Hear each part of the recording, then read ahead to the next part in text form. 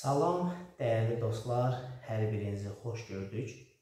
Bu gün sizə əksər müəllimləri maraqlandıran icmalda yazdığımız dərsin tipi hissəsini izah edəcəyəm. Hansı ki, biz orada ya yazırıq induktiv dərs, ya da yazırıq deduktiv dərs. Bəs induktiv dərslə deduktiv dərs harada meydana gəlib, hansı məntiqə sahibdir, biz bunu izah edəcəyik. Ümumiyyətlə yadımıza salaq ki, induksiya, deduksiya təfəkkürə aiddir. Xüsusilə məntiqi təfəkkürün daxilində olan hissələrdir. Belə ki, orada de induksiya var, deduksiya var, analogiya var, məntiqi xətalar var. Biz burada induksiyaya, deduksiyaya diqqət ayıracağıq. Orada induksiyada, deduksiyada hökmdür. Induksiyadakı hökm balaca bir hissədən başlayır böyük bir hissəyə doğru gedir. Məsələn, mən almadan danışıram. Sonra isə bütün meyvələrdən danışıramsa, buna induksiya deyilir.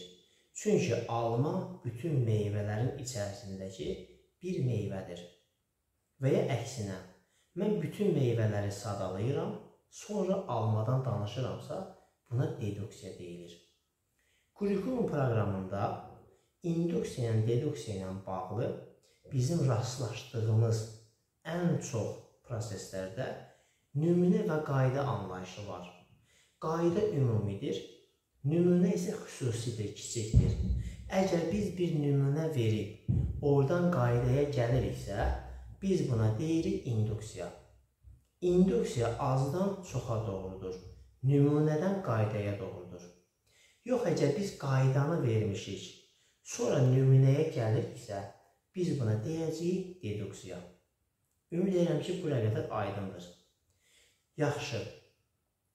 Biz əgər dərsdə bir nümunə veririk, bir çalışma veririk, amma hələ qaydasını demiriksə, şagird başlayır düşünməyə. Öz beynindəki, zehnindəki fəaliyyətləri yoxlamağa başlayır. Elə ki, qayda ilə tanış olur, artıq deyir ki, bəli, mən öyrəndim. Deməli, induktiv dərs nədir? Öyrədici dərsdir. Digər bir nümunə. Bu olsun deduktiv, deduktiv dərsə aid. Məsələn, müəllim öncə qaydaları deyir, sonra isə qaydadan sonra çalışmalar təqdim eləyir, nümunələr təqdim eləyir. Qaydanı bilən şagird həmin nümunələri icra eləyirsə, bu onun üçün nə olur? Təkrarlayıcı olur. Çünki müəllim qaydanı dedi, sonra nümunəni dedi. Demək ki, deduktiv dərs təkrarlayıcı dərsdir. Ümid edirəm ki, öyrədici ilə təkrarlayıcı olmasını bu şəkildə, bu formada daha aydın şəkildə görə bilirik. Bundan da əlavə biz daha nə deyə bilərik? Məsələn, müəllim motivasiya mərhələsində kiçik bir şəkil göstərirsə və ya kiçik bir hadisə göstərirsə, sonra dərsin gedişatında onu daha geniş bir hadisələrlə əlaqələndirirsə, bunun özü də induksiyadır.